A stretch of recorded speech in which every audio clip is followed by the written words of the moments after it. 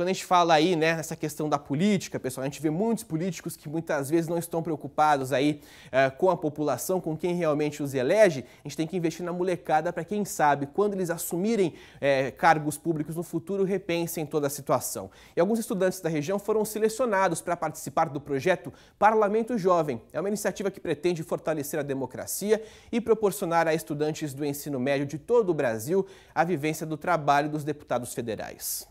João Vitor sempre foi estudioso e dedicado em suas tarefas. Responsável e companheiro, nunca foi motivo de preocupação para a mãe.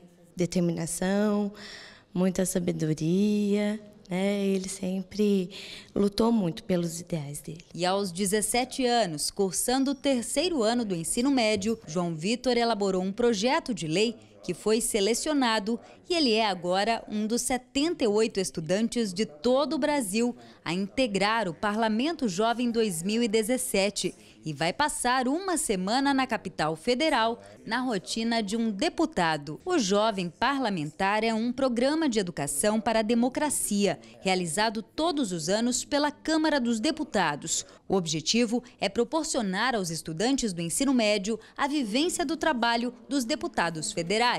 Esse processo educacional que os jovens estão tendo na escola com relação à representação tende a melhorar a nossa representação política e também a sociedade. O projeto dele tem a intenção de fazer com que os jovens possam exercer a cidadania. O meu projeto propõe uma semana no ensino médio de estudo da cidadania, de estudo de leis, de estudo do mercado de trabalho, o que um cidadão e um profissional deve fazer para que o Brasil, enquanto nação, enquanto um país que preze pelo melhor de todos. Um trabalho que custou horas de lazer e descanso e que contou com a ajuda de familiares, professores e amigos.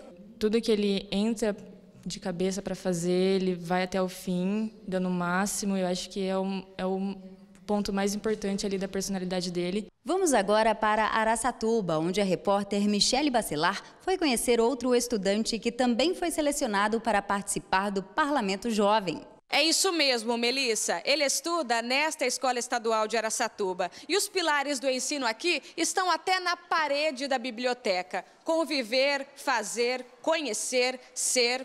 Pois é, o Leilson levou tudo isso muito a sério. Tanto que o projeto de lei que ele criou e agradou à Câmara dos Deputados propõe melhorias para a educação em todo o país. A ideia apresentada pelo aluno, que tem 16 anos, é que seja previsto na Constituição que os custos das escolas estaduais devem ser divididos com o governo federal. Dessa maneira, teriam mais recursos para investir em projetos educacionais e até para melhorar a estrutura das escolas. Hoje é tudo o governo estadual, que vem tipo de lado federal, manda para o governo, depois eles dividem entre professor e a escola.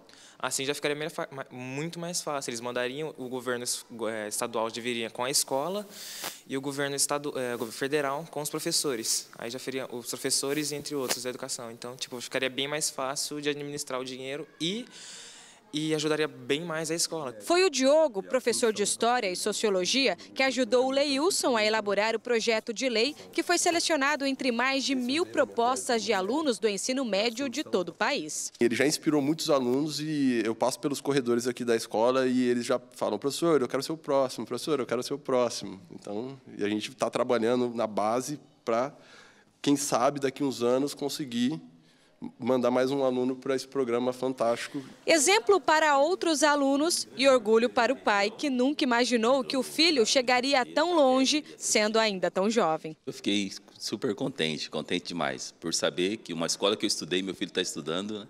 e está tendo bons futuros pela frente. Né? Eu trabalho todos os dias da, da melhor forma possível para discutir política com neutralidade, para plantar essa semente de que é a educação e atividade política com ética que vai melhorar o nosso país.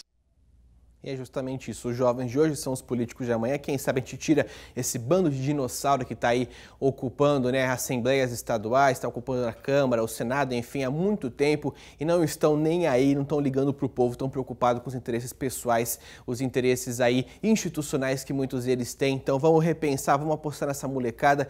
Eles são o futuro do nosso país e, claro, a gente tem responsabilidade disso, né? 2018 tem eleição, a gente vai chegar nas urnas, tem que ter responsabilidade, tomar cuidado com o discurso que você você vai cair, tomar cuidado na informação, sempre daquela história do bom moço, do bom discurso, tem que ficar muito atento para não cair aí numa enrascada e viver um país como a gente está vivendo agora, que está cada vez pior, né? Corrupção existe desde que o Brasil é Brasil, mas está ficando cada vez mais à tona e isso é muito preocupante.